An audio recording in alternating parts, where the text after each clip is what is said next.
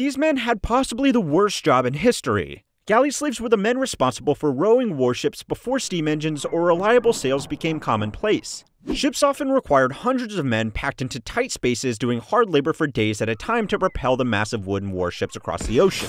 Early Greek rowers were mostly volunteer sailors, but by the Middle Ages, the job was only done by prisoners of war and captured slaves. The men were chained to their oars and not released until they returned to port. They would eat, sleep, work, and go to the bathroom at their posts. Disease in these conditions killed many of the rowers, and those who didn't succumb to illness would die in battle because their chains would drag them down with the sinking ship. Regular galley slaves already had it rough, but those who were unlucky enough to be stationed on the Ottoman Sultan ships were chained to their oars for life. Even when the ship was at port, they remained at their posts. Once they were chained to the oar, the only way they would get out was through death.